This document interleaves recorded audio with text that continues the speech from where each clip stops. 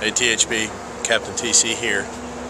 Well, I've been mulling over lots of things and ideas, and I've decided to take this to the streets and get the real people's opinion about folks in the Morgan Cup, particularly Captain Biggsy.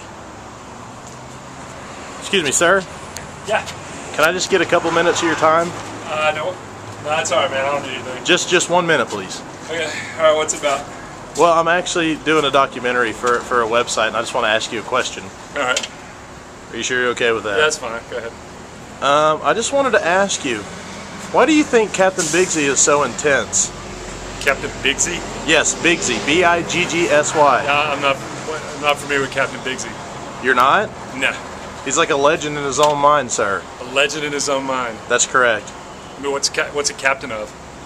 It's a team called Team Paradise. Team- Is this like a special ops team or It's more like a special education team, sir. special education team? Yes. Well, I'm sure if he's a captain, Captain Biggsy must be uh, must be pretty impressive because he's a captain.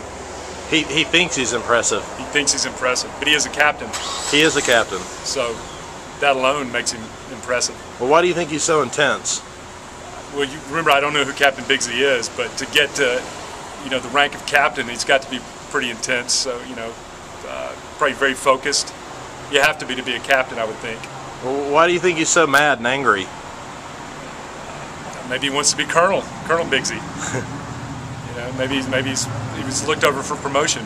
You know, I mean, I could tend to you know upset somebody. Right. Well, I, I appreciate your time today, Okay. sir. Thank you. You're welcome.